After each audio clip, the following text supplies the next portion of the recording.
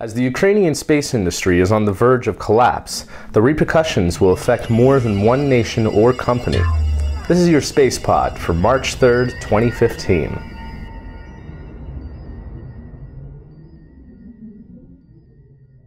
Back on October 10th, Ukraine's primary rocket manufacturer, Yuzhmash, issued a letter to their employees stating that Yuzhmash is in a deep financial crisis, the main factor which is a precipitous decline in production. The current crisis is not irreversible, but the situation is close to the point of no return.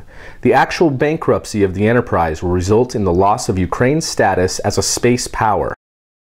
The cause of this crisis has been the unofficial war with Ukraine that Russia has. Although it is Ukrainian separatists siding with Russia, the repercussions of this war have been very widespread. Economic sanctions levied by Ukraine against Russia have put in jeopardy several existing rockets, including Ukraine's Zenit rocket and the variants for sea launch and land launch, the Rokot small launcher, and the Dnepr rocket. The reason being is because all of these rockets are a collaboration between Ukraine and Russia and rely on components from each side in order to make these rockets work. The Rokot and Dnepr rockets are based on old ballistic missiles that are no longer in production and would need to be phased out anyway, which Russia has already planned to do with their modular Angara rockets. Beyond Ukraine's previous cooperation with Russia, they also have three international deals that are also in jeopardy.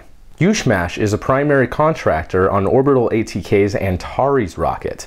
They build the first stage fuel tank as well as the payload fairing for that rocket. And the engines are also supplied by Russia for that rocket, but that is a whole nother political situation. Ukraine also had a deal with Brazil to develop the Cyclone 4 rocket based off of their successful Cyclone 3 rocket and would have launched from the Alcantara Space Center in Brazil. Although, with the demise of the Ukrainian space industry, that probably won't happen either. Ukraine is also the supplier of the engines of the fourth stage of the European Space Agency's Vega rocket.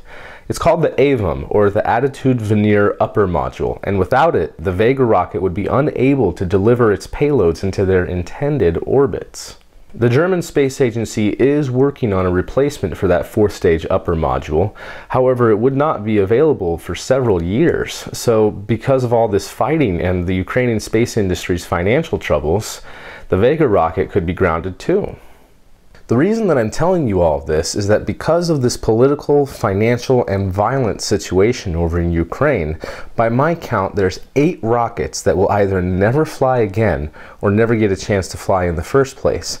And to us space geeks, that's a crime in and of itself. Even if Ukraine were to be completely annexed by Russia, it's highly unlikely that the Russian space industry would continue to use all of those systems that Ukraine produces. And it's going to be very interesting to see how Ukraine weathers this storm, if the, their space industry survives at all. It's also going to be very interesting to see how the different space agencies and space companies around the world who are involved with Ukraine will be able to manage without them. Of course, it is my hope that the Ukrainian space industry will survive and that they will be able to continue to fly all of those rockets and be able to achieve some of their future goals in space as well. As the fighting intensifies in eastern Ukraine, we're going to be paying very close attention to how things progress from here on out. Thank you very much for watching this new Space Pod. I'm very excited and very honored to be doing these. And hopefully this will be able to fill the space news gap that we are just unable to completely fill with our live shows. Please subscribe to our new channel tomorrow.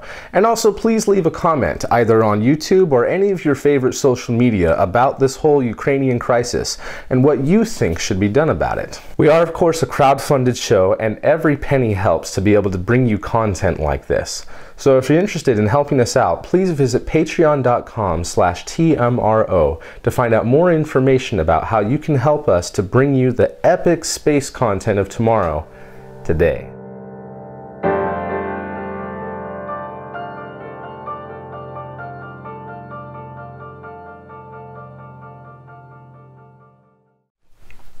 Oh, this is so cool. Space pods are back!